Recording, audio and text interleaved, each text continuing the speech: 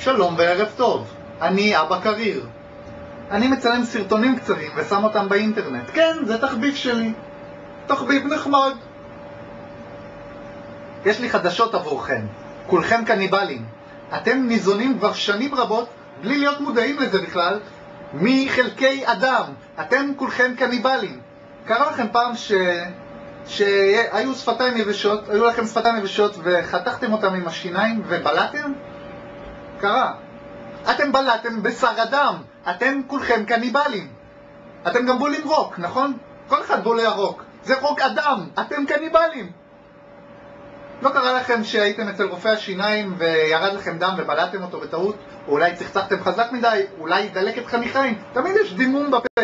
אולי חתך בתוך אחיך הפנימי מטריד אתכם ויורד דם ואתם בולים אותו בטעות. אתם בולים דם אדם. אתם כולכם קניבלים.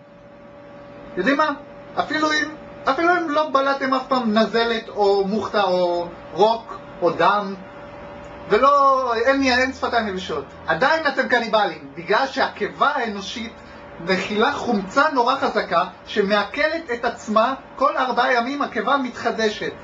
תבדקו את זה בוויקיפדיה אם אתם רוצים, זו עובדה מדעית. הקיבה מעכלת את עצמה כל הזמן. אתם מעכלים כבר שנים כבת אדם, אתם כולכם קניבלים.